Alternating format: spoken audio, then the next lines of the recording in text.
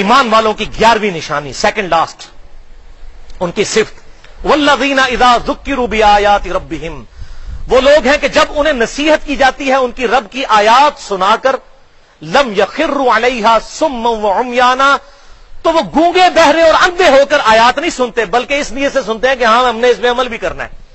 और माजरत के साथ जिसे पता ही नहीं कि आयत क्या बयान हो रही है तो वो भी इसी कैटेगरी में फॉल करता है। या सुनकर, इस काम से सुनकर, इसी से ही निकाल दे। इधर से ना निकाले कि शायद दो बातें कोई दिमाग में बैठ ही ना जाए।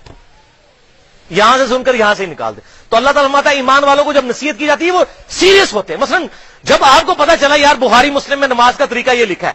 उसके बाद मेरी मजाल है, मैं दूसरे तरीके पर नमाज़ पढ़ जाऊँ। बहुत बड़ा ढीठ हूँगा मैं। ईमान वाला तो नहीं हूँ फिर कुरान की रूह से।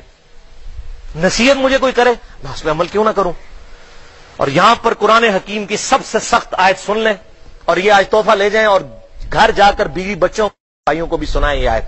सूरत अराफ, आयत नंबर 179 वलकद जराना जहन्नम कसीरम मिलल जिन्न वल इंसान, वल इंस।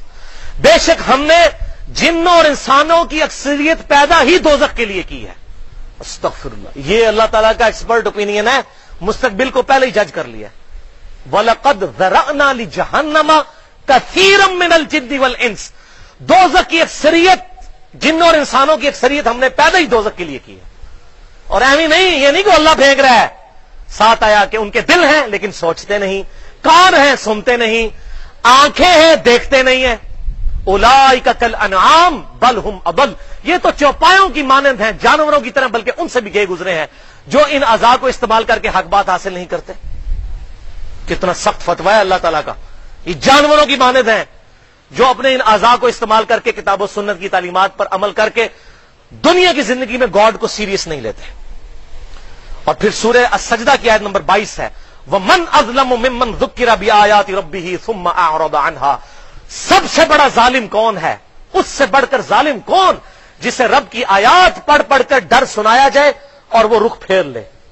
इन नामिनल मुजरिमीन मुंतकिमून. ऐसे मुजरमों से तो हम इंतकाम लेकर छोड़ेंगे। इंतकाम का लफ्ज इस्तेमाल किया जिसको कुरान सुन्नत से तरगीब दिलाई जाए और कह जी तुम अपनी कबर जाना है, मैं अपनी कबर वो पाई किने क्या तू मेरी कबर ही जाना है?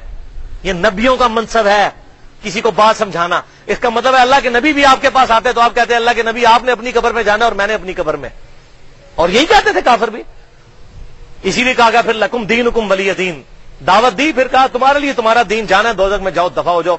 वमा अलैना इल्लल बलागुल मुबीन। हमारा काम तो नहीं है, मगर साफ़ साफ़ पहुँचा देना।